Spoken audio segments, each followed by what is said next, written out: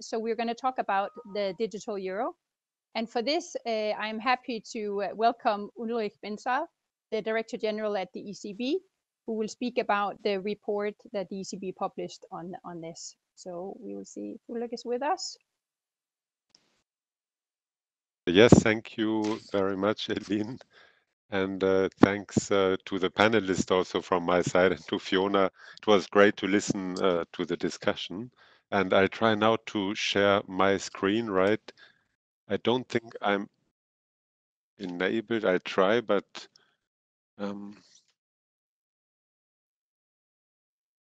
I'm trying. I'm trying. One second.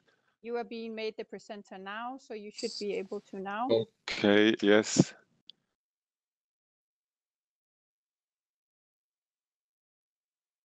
There you are.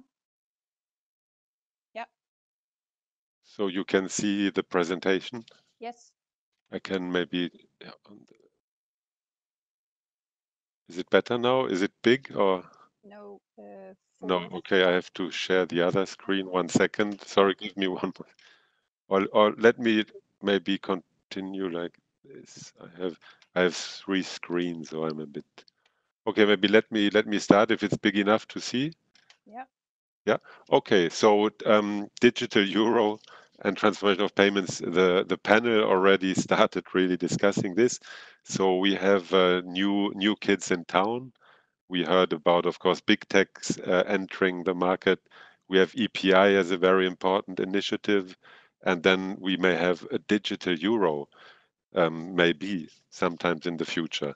So as you as you know, we published um, a report um, just uh, I think on 2nd of October, the ECB published its digital euro report, which uh, explains uh, it, its thinking really. And of course, my presentation will be based uh, on this um, on this uh, report. And I mean, let me not go now through the presentation overview. Let me start uh, directly again with what uh, do we mean by a digital euro. It's a central bank liability or call it central bank money available in digital form for use in retail payments, which uh, is of course for citizens, but also for non-financial uh, companies.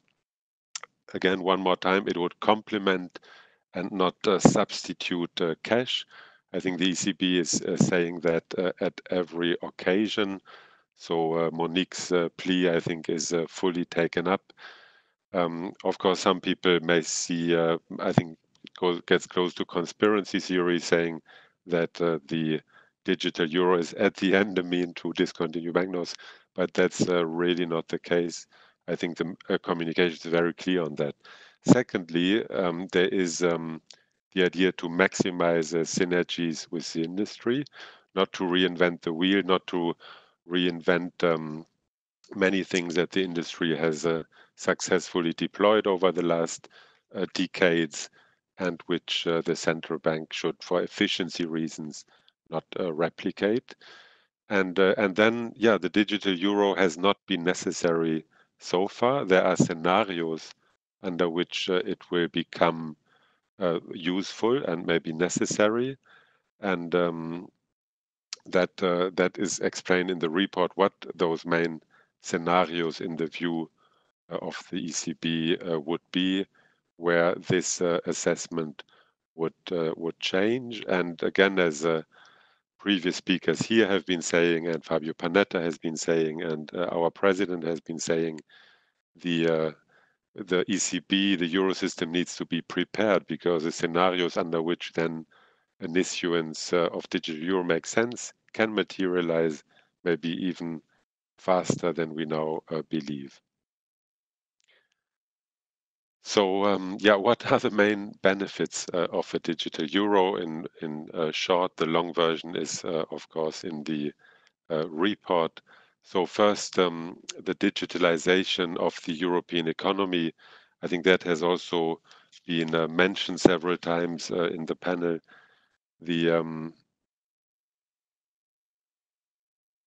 the um, sorry, the uh, uh EU digital um, single market uh, agenda is, you know, very consistent with with that idea now that um, we have a digital euro serving the economy. So maybe this point goes even beyond citizens and consumers. It would be a, a, tool also for the economy, and there are terms like the programmable um, programmable money or programmable CBDC uh, are mentioned in industry uh, circles as also you know being supported potentially by a digital euro. Um, then there's clearly the scenario of a declining use of cash as a means of payment. Again, you know, regardless of the central bank's uh, commitment to issue uh, digital, um, sorry, non-digital uh, cash, so banknotes without time limitation, still, you know, usability of cash can uh, can go down, and and Sweden has been one example for that. So if we extrapolate uh, this development to the euro area, then let's say the usability of central bank money would decline even if we would issue uh, cash, even if the stock of cash would continue to be significant, it wouldn't, uh, you know, guarantee that um, that it can be used.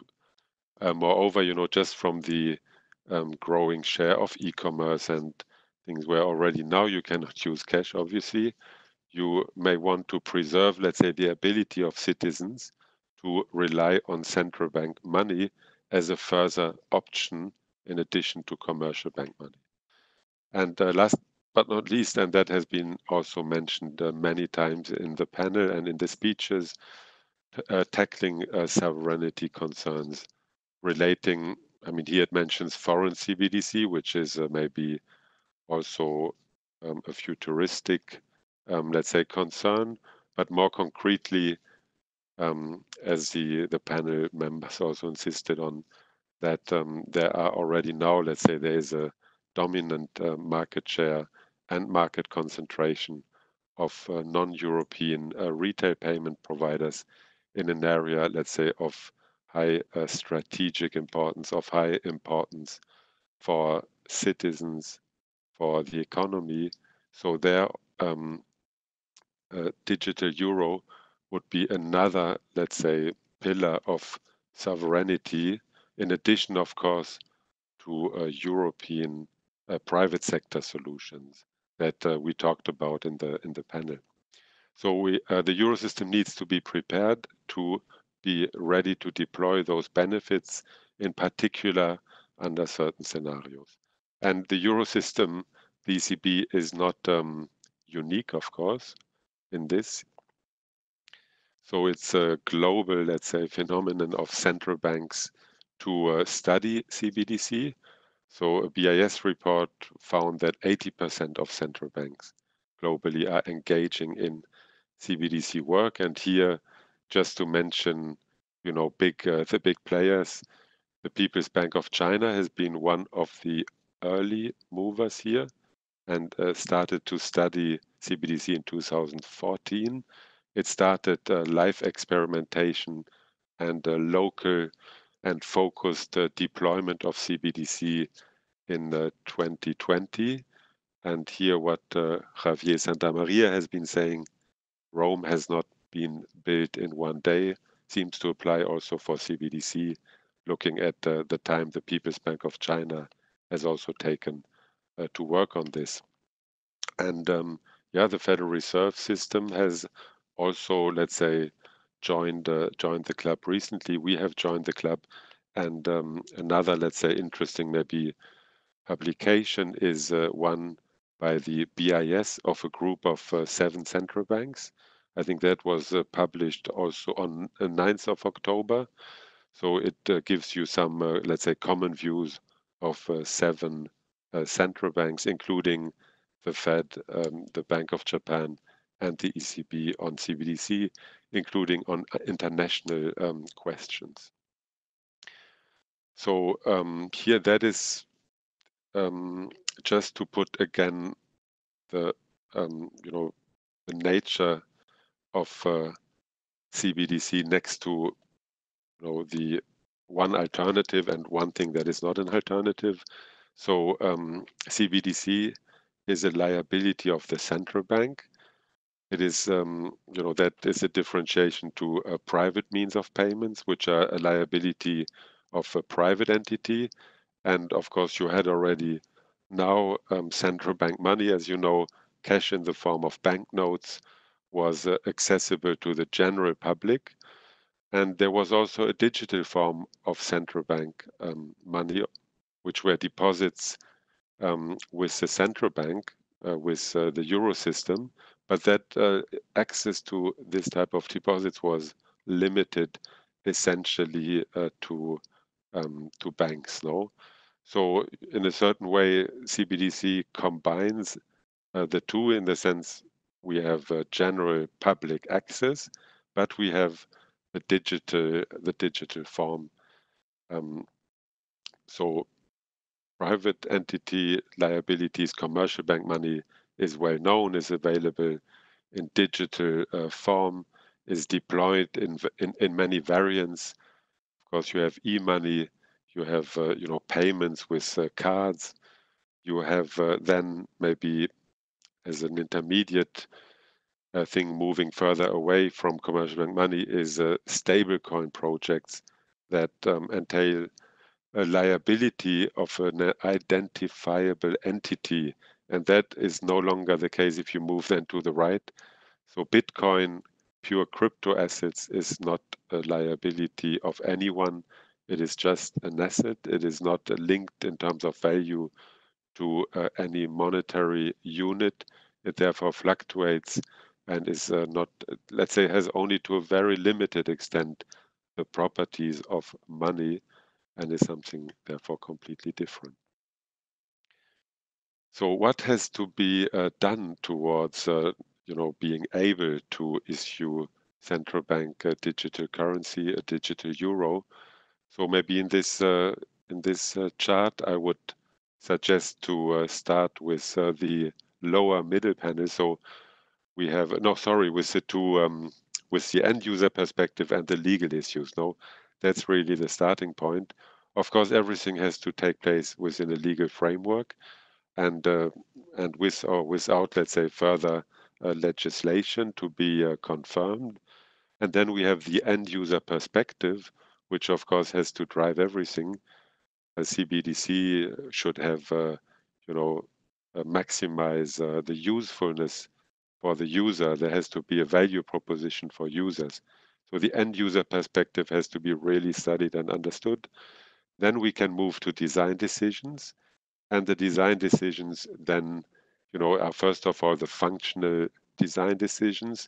And then on that basis, we can move uh, up to um, then the technical uh, design. No, and the technical design, if you want, has three elements: a back-end infrastructure, then a front-end uh, infrastructure, and then you know various let's say issues relating to the distribution framework really the front end that will be um, the access point of uh, consumers or of firms there will be the question how digital euro and commercial bank money will be uh, exchanged against uh, each other so all those things then need to be uh, studied in detail and um, yeah they're quite multi multi-dimensional and uh, and non-trivial. So a very careful uh, analysis is is needed here.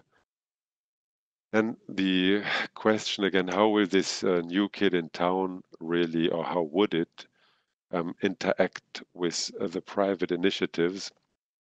And the ECB really feels the digital euro is a complement and not a competitor primarily to private initiatives. So, so why is that? So um, first of all, you know, the payment, the digital payment market is a, is a gigantic market and it is a growing market.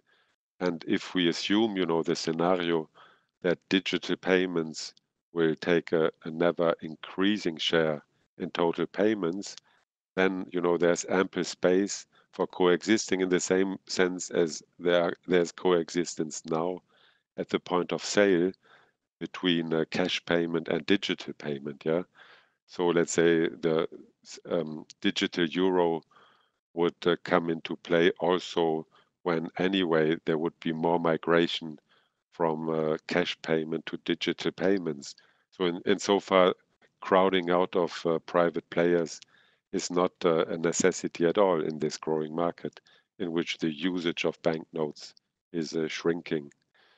Um, then I think there's no doubt the private sector will remain more innovative and uh, and therefore should you know always be ahead maybe in terms of its uh, solutions to uh, the more let's say conservative or um, central bank solutions and maybe the focus of the central bank solution on on really core services, not you know pri- providing the whole um, set of value-added services that the private sector is looking for. I think central banks and the ECB in its report has been uh, clear that there's no ambition to take over the front end.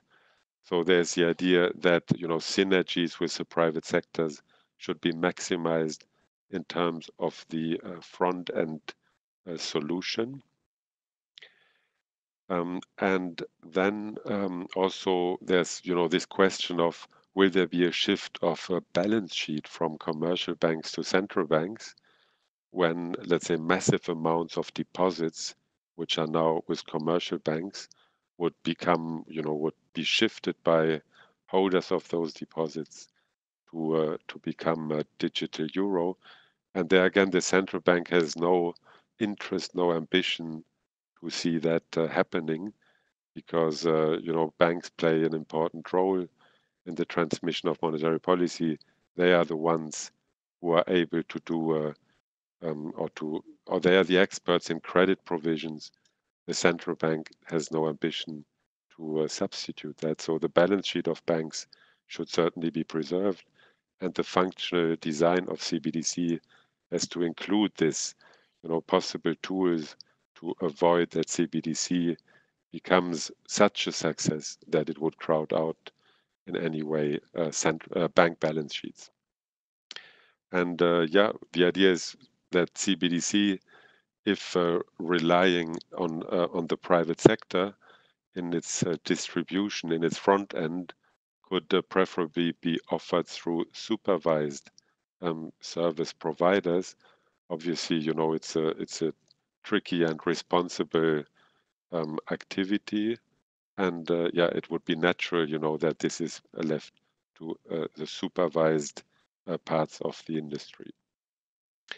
One maybe a crucial um, design question is the one account-based uh, versus bearer-based or token-based um, digital euro.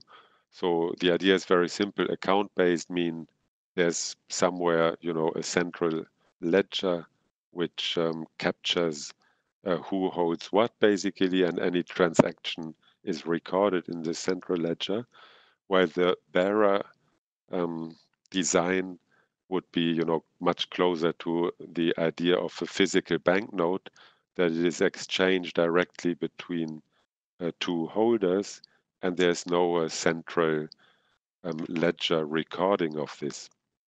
Of course, the um, the account based is uh, what you know is really tested and used uh, in the payments industry at all layers, from the central bank to the end user, in various you know va variants and layers. Um, and for electronic payments, it's more obvious. It's, it relies on online payments to link everything, of course, to the central ledger, while the bearer is more uh, innovative, more tricky, and also in terms of security, of course, um, creates additional challenges. But here, really, the um, the uh, analysis is open-minded to both.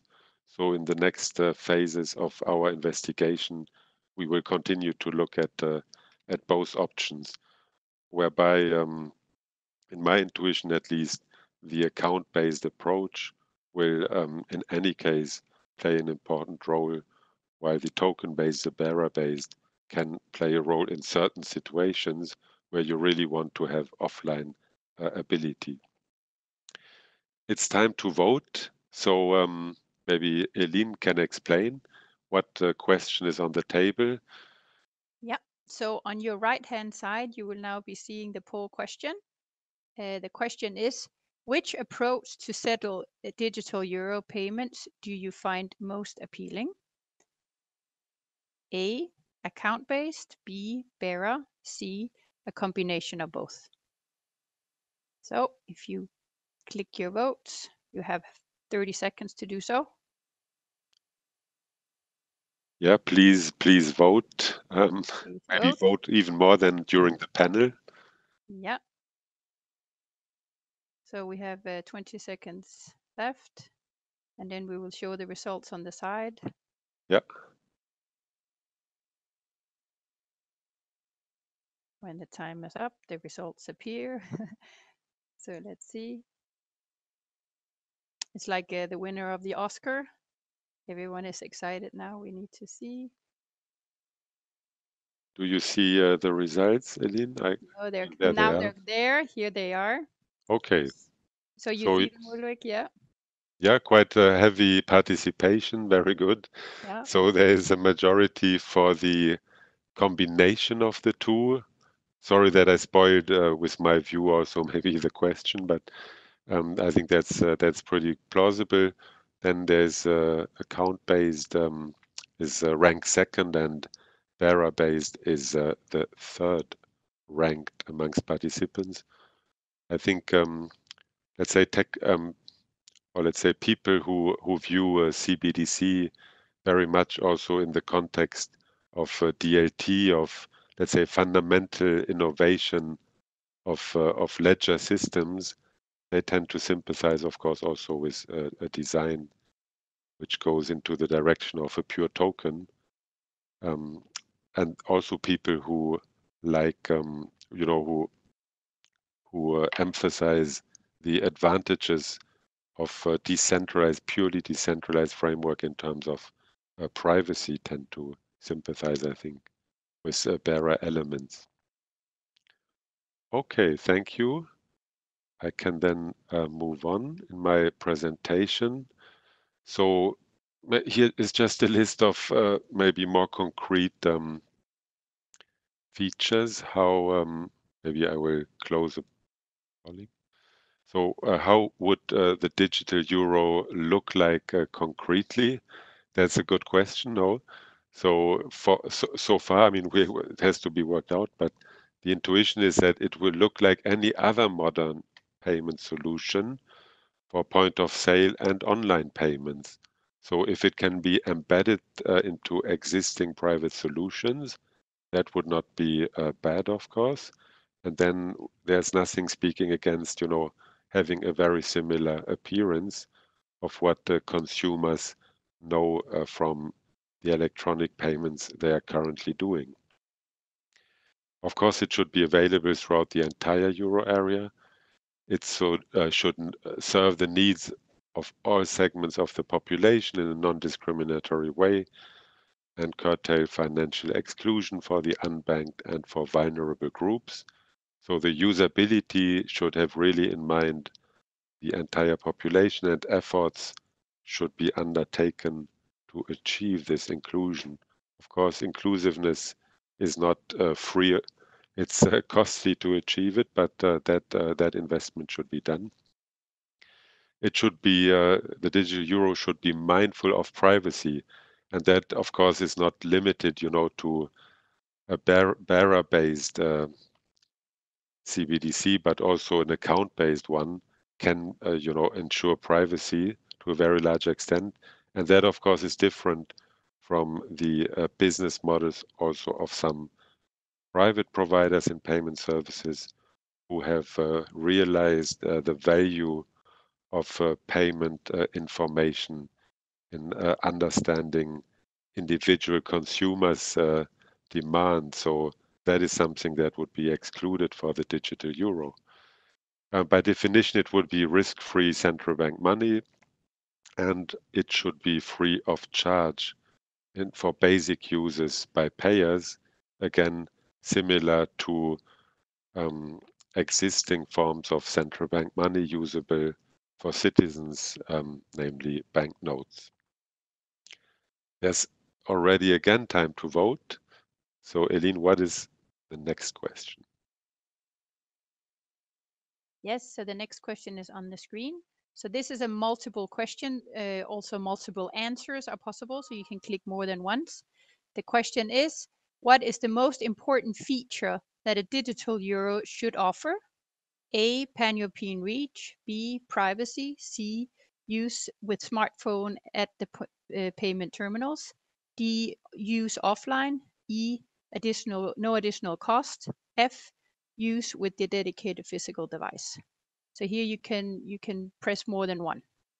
You can uh, press as many as uh, yes. as you want. Yes, you can. Yeah. Okay, okay. So if I would be um, if I would be you, I would uh, press everything, but that is boring. So don't press everything. Don't press everything. So as soon as the time is up, we will show the results. 20 seconds left. So everyone in there clicking, yeah. Yeah, yeah. So you can't think too much anymore. There's 10 seconds left.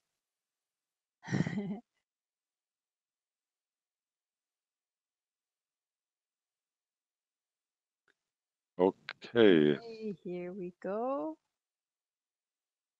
Let's see what the system, here we are. Okay, it's uh yeah, we have a winner. yeah, it's uh yeah, almost ranked, but the winner is a pan-European reach, okay. The the audience is uh European oriented. That's very good. Then we have next is uh, the use with uh, smartphones, yeah we are all uh, smartphone addicts and we want to pay with smartphone and obviously biometrics uh, is i would say the you know the big difference that smartphones also offer now in the payment convenience so that's not uh, surprising then uh, privacy is ranked very high use offline as well yeah so sorry no be precise next one is no additional costs then comes uh, use uh, offline.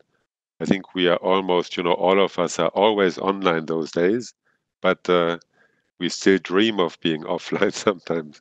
So that's why it would be nice to have a CBDC which works offline for 133 respondents. And then, yeah, the use with the dedicated uh, physical device is uh, not so popular yeah, a dedicated physical device, maybe we don't want to to have one. No, we want to maybe use our smartphones and not be bothered with uh, with something in uh, in addition. That's um, so that's a negative vote maybe against a dedicated uh, device, which you know I think comes into play potentially for offline payments. No, but okay, maybe offline is possible without a dedicated uh, device. Okay, thank you. Then I'm coming, I think, uh, soon to the end. So uh, further assessment uh, is is needed again. It's a it's a project uh, as as big as building Rome almost. No, um, hopefully not. So now uh, we have uh, you know the milestone. The report was published, and there are now let's say two, in particular, two uh, work streams awaiting us, which is uh, a public consultation and uh, and further experimentation. And I think also uh, that's uh, maybe needless to say conceptual work. And uh, and some you know conceptual work issues are listed here. Yeah. Um, so implications of CBDC for key areas of uh, interest, of course, for the central bank and, and for others, uh, is uh, you know the impact on monetary policy, uh, the impact on on the economy, therefore, and on financial stability and the financial system, the banking system. So that is uh, is a topic often mentioned, and you know the the objective is clear. Of course, CBDC must not you know, put in question financial um, stability. It should not, uh, of course, crowd out um, the private sector in any way. So there are clear, you know, already objectives formulated in the report, but uh, to be worked out exactly how those um, objectives are, um, are fulfilled through a functional design of CBDC. Then, uh, yeah, the question of uh, privacy, um, of uh, remuneration needs to be worked out. Then the already mentioned uh, technological aspects, like, for example, de decentralized um, working versus a central ledger, the offline usage, but many, many other questions.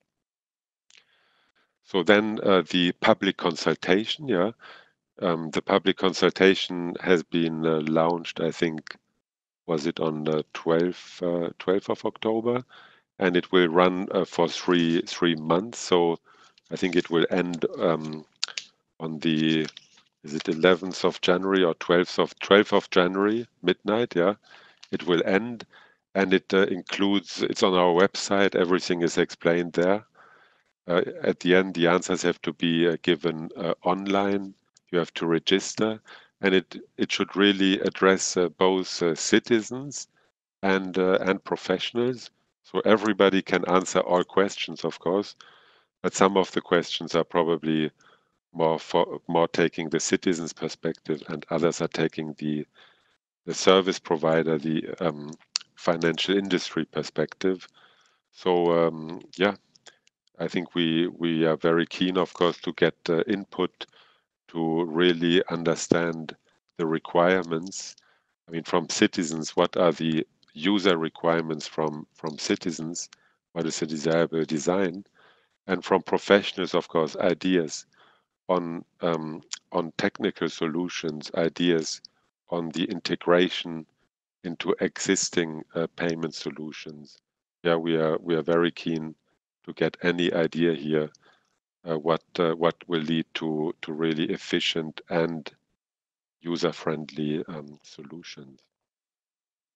And uh, yeah, then we have experimentation. So if you know this is experimentation with maybe a six months horizon.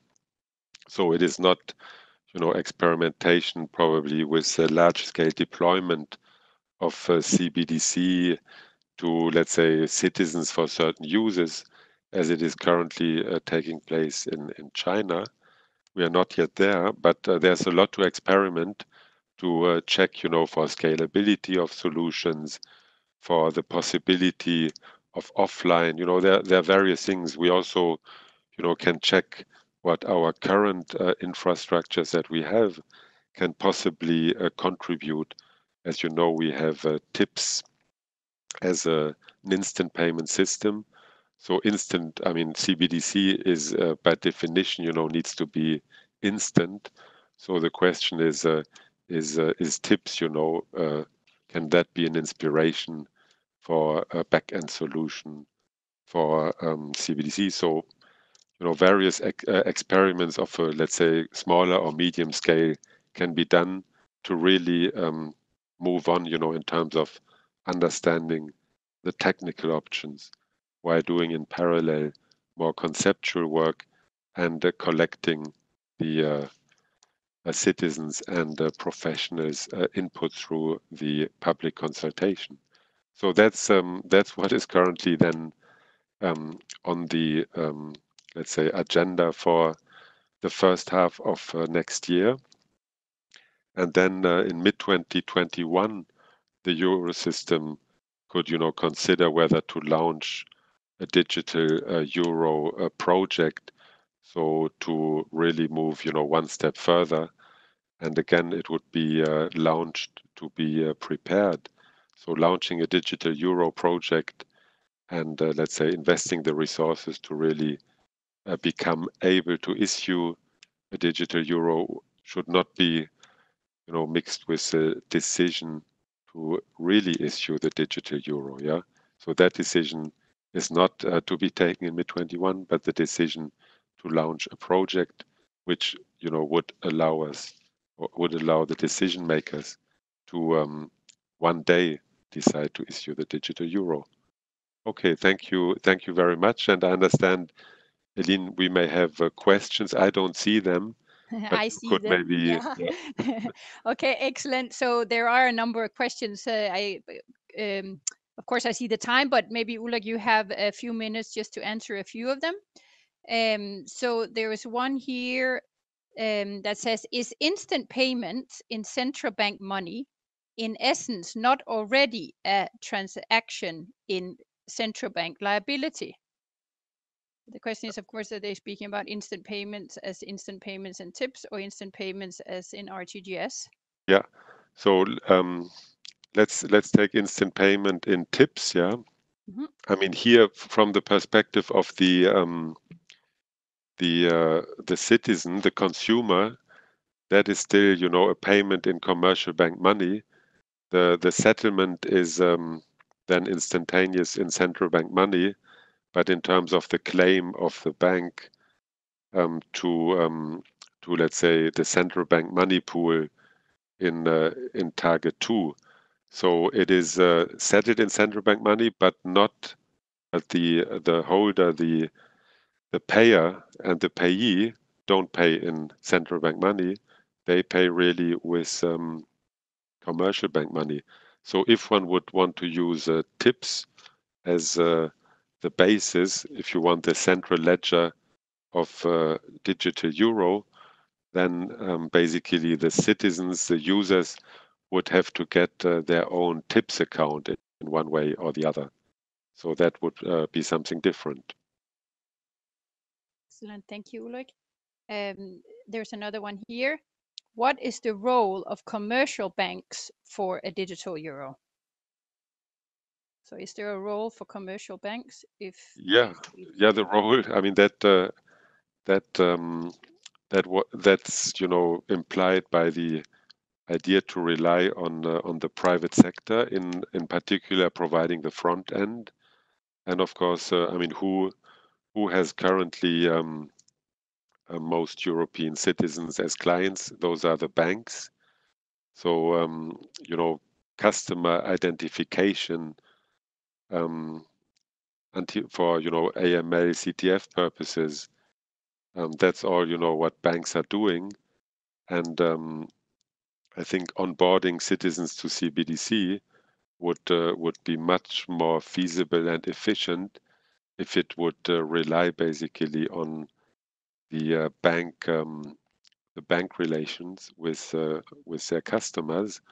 Of course, that does not need to be the only way to make CBDC accessible, but in terms of ease and scale, that seems to be an obvious choice. And of course, if the European banks, uh, um, you know, launch uh, EPI, deploy EPI, of course, you have then the economies of scale and efficiency from, again, a single payment solution that could, you know, have uh, then even more synergies with uh, CBDC. That would be a kind of, uh, yeah, maybe most efficient scenario. But again, CBDC should probably not be exclusively linked, you know, to one distribution channel. But of course, uh, the the bigger, the more efficient um, those distribution uh, channels are that can, you know, team up with CBDC, uh, the better certainly. Excellent. Thank you very much. So maybe just one more, um, one more question. We have a lot here in here, but let's just take a last one. Could the discussion on CBDC digital euro create uncertainty that might discourage the industry from working on pan-European payment solution? Yeah, that that uh, the answer should be no, and we should do everything uh, that everybody agrees that the answer is no, because uh, as as mentioned, you know, we are talking about um, a further growing market, a gigantic market. No retail payments, electronic retail payments is growing and is also growing because uh, payment in central bank money in the form of banknotes gets gradually substituted by uh, digital payments. No, therefore, you know, the central bank entering this market does not imply the necessity for crowding out uh, private players. And um, I mean that's that's a general remark. And second, there's the idea of uh, teaming up on the front-end solution. And third, there's no ambition to substitute balance sheets. So all those things are very clear in the mind of the central bank. And we must, of course, uh, convince the private industry that therefore their investments into private retail payment solutions are, are fully deserved. Yeah. Okay, Eileen, then Yes. this would be it. No, no further questions. No, I think otherwise we can be here until tonight. Yeah. So thank you very much, Ulrich. It was very interesting uh, to hear all the insights on the possible uh, digital euro. And just to remind everyone on the date, as Ulrich mentioned, it is the 12th of January 2021. Um, so before we close, I want to hand over uh, to Fiona, who has agreed to do the closing mark of today. So maybe Fiona, you are there. Over Yeah. you. Thank you. Okay, thank you very much, Aline, and uh, thank you also to Ulrich for that uh, interesting presentation on the digital euro. So, uh, indeed, as the conference uh, comes to a close, I would just like to briefly reca- recap on some of the highlights that we heard. Um, we started, uh, of course, uh, by looking at the challenges and also the opportunities of the digitalization of the European retail payments market. And uh, we have done so under the new normal that the COVID 19 pandemic has introduced, uh, a situation which shown us at which all shift in our place and change of one digital in a matter of just a few months. Now, I don't want to suggest that uh, we expect the European retail payments market to change towards uh, being 100% digital uh, so quickly, but still, uh, it gives a sense of perspective in, in all of this. Um, Mr. Fabio Panetta, ECB Executive Board member, started this morning by outlining the comprehensive response of the ECB to the changing payments landscape, uh, a response which consisted of four elements. Uh, first, our Cash 2030 strategy, uh, which is to ensure that banknote, banknotes remain widely available and also accepted as a competitive, reliable payment instrument and as a store of value. Um, our retail payment strategy, which is aimed at fostering pan European payment solutions, an innovative European ecosystem for payments, as well as full deployment of instant payments.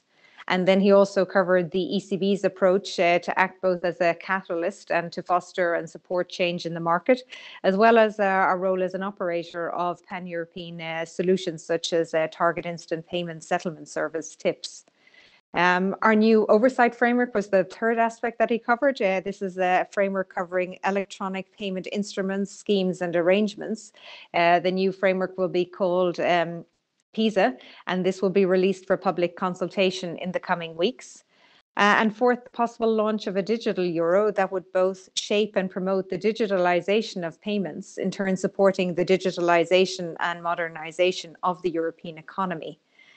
And then following on from uh, Fabio's uh, speech, we had Commissioner Mairead McGuinness, who spoke about the Commission's retail payment strategy for the EU and uh, the different objectives that this wants to achieve. Uh, first being uh, the broad and diverse range of payments. Um, secondly, an objective for instant payments uh, to help reduce our dependence on the well-established players such as international card schemes and also more increasingly also on technology companies. And uh, third and finally, the fact that the Commission is committed to enhancing cross-border payments with non-EU uh, jurisdictions in order to make them faster, cheaper, and indeed also more uh, convenient. And uh, I would like to thank in particular um, Ms. McGuinness uh, for agreeing to speak at our conference because, uh, as was mentioned earlier, she started in this role only last week on the 12th of October as the new Commissioner for Financial Services, uh, Financial Stability and Capital Markets Union. Um, the two keynote speeches, they show the alignment and cohesion at European level and uh, highlight the importance of the efficiency of the European payments market and the sovereignty of the euro.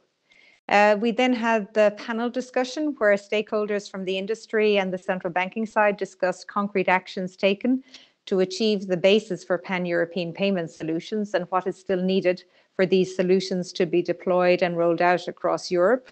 And we also heard the consumer perspective and what is important for the consumer in all of this. Um, during the panel, it became clear that there's a lot to be done and that this needs to be done quickly, and we have no time for complacency in any respect. Uh, but overall, the elements are there for uh, a pan-European or more pan-European payment solutions, and there's a, a very definite momentum behind this uh, to go forward, and uh, also, of course, to bring consumers and their needs with us throughout. Um, Afterwards, we had the presentation on a digital euro and uh, how it could impact the retail payments market uh, but from uh, Ulrich Bindseil. Uh, the digital euro would be a new payment means, but it would not substitute front-end solutions to end users.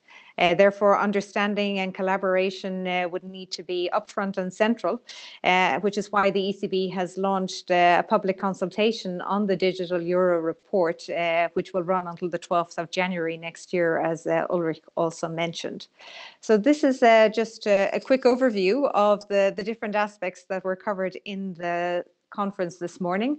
I'd like to thank uh, all our panelists and uh, presenters and speakers uh, for uh, guiding us through today. All of the participants in the audience who were very active with their questions. Unfortunately, as Aline said, we didn't have time for all of them, but uh, we will definitely be following up and uh, we look forward to having such sessions again. Thank you very much.